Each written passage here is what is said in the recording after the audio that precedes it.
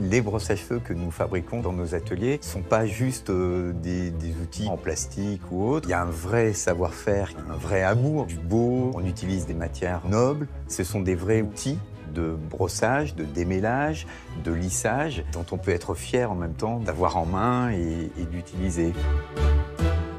Stéphane peut être fier. Depuis 9 ans, il est à la tête d'une entreprise unique en son genre. Installée à Mouy, dans l'Oise, c'est la seule en France et l'une des dernières au monde à concevoir à la main et depuis bientôt 150 ans des brosses d'exception.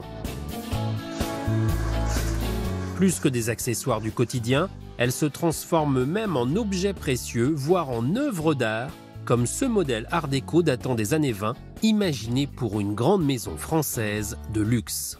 Pour l'anecdote, cette brosse représente euh, l'Empire State Building et cette brosse a été entièrement montée à la main et faite en 10 exemplaires euh, euh, quasiment uniques les, les uns les autres. Mais avant d'en arriver là, tout commence à quelques kilomètres de l'atelier dans la menuiserie.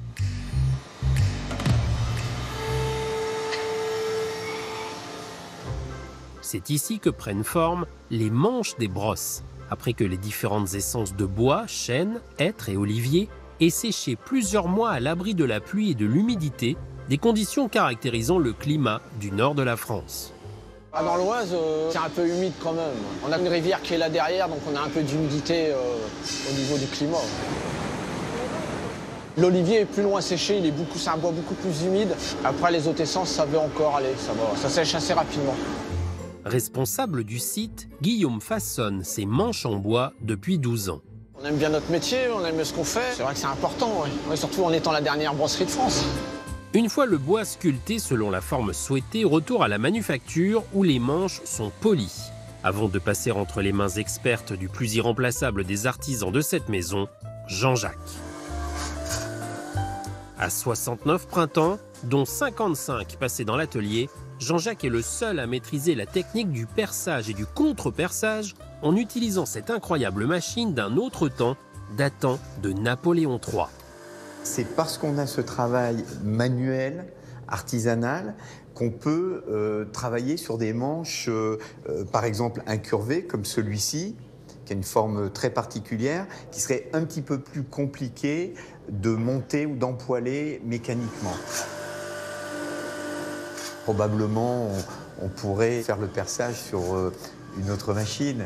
Mais l'intérêt de faire perdurer ce savoir, c'est aussi d'utiliser l'outillage ancien et avec lequel euh, les prédécesseurs de Jean-Jacques ont, ont travaillé. Il y a une fierté à ça. En plein développement de l'hygiène à la fin du 19e siècle, la brosserie fait la richesse de l'Oise, une région qui, grâce à l'essor du chemin de fer, se retrouve d'un coup aux portes de Paris. Au début du XXe, on compte 80 brossiers tout au long du terrain, une rivière propice à l'implantation d'usines hydrauliques et que les pluies régulières de la région ont toujours alimenté.